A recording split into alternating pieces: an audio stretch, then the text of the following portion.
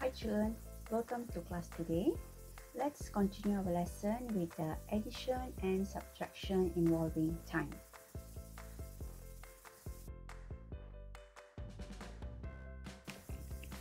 Okay, let's look at example 1. We have 1 over 3 hour plus 1 5 over 6 hours. As you can see, we have two fractions with different denominator. Okay, so find the common denominator. Okay, we will have 2 over 6 hours. Okay, then 1 5 over 6 hours we split it to 1 hour and 5 over 6 hour. Okay, now add the fraction, you'll get 1 plus 7 over 6 hours.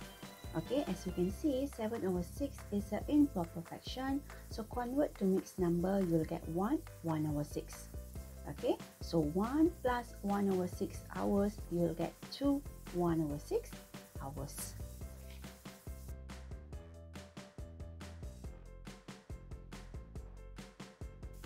Okay, let's see the next example. We have 1 over 3 hour plus 50 minutes.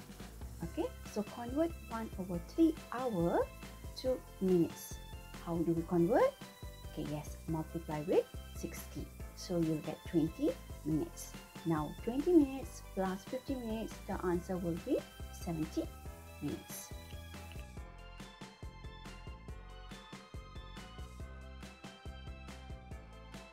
Okay, now let's see example 3. 2, 1 over 2 years or 2 and a half years plus 5 years 9 months. Okay, as you can see, we have a fraction here. So convert the fraction to year and month. So 2 and a half year, okay, you will get 2 years and 6 months. Okay, now to add them, do a T line. Then write month and year. Add month with month and year with year. 6 plus 9, you'll get 15. 2 plus 5, you'll get 7. Now you can see we have 15 months. In a year, we only have 12 months. So take out 12 from 15. Okay, you minus 15 minus 12, you'll get 3.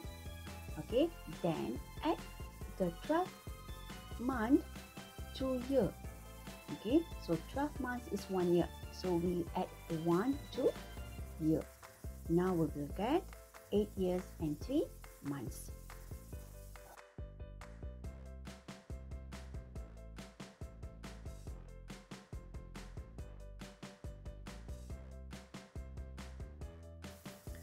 Okay, next example 1.25 years plus with 5 over 6 year. Now, your answer must be in year and month. So, convert 1.25 years to years and month. Okay, once you convert, you will get 1 year, 3 months. Then, 5 over 6 years, convert to months. Okay, so multiply with 12, you will get 10 months.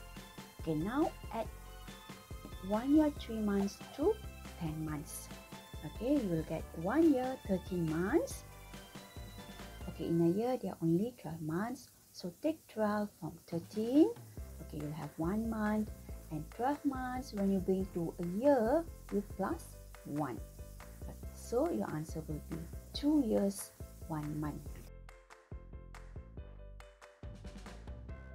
the next example will be 8 centuries 7 decades minus 2 4 or 5 centuries.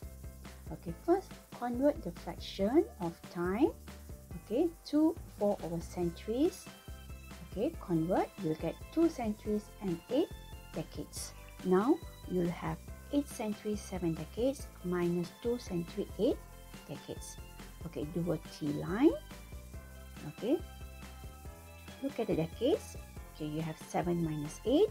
Since you cannot minus, take 1 century and give 2 decade we will have 17 minus 8 okay 9 decade then 7 centuries minus 2 centuries will have 5 centuries so your last answer will be 5 centuries and 9 decades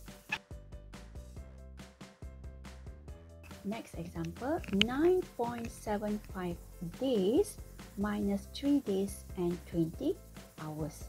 Okay, and your answer must be in day and hours. Okay, convert 9.75 days to days and hours. Okay, so once you convert, you will get 9 days and 18 hours. Okay, now you minus. Okay, do a T line. As you can see, 18 cannot minus with 20. So, take 1 from day and give to month. Okay, you have to add with 24. So, 18 plus 24, you'll get 42. So, 42 minus with 20, you'll get 22. Now, once you take 1 from the day, now the day we left with 8 days. Okay, so 8 days minus with 3 days, you get 5. So your answer will be 5 days and 22 hours. Okay children, we'll end our lesson today.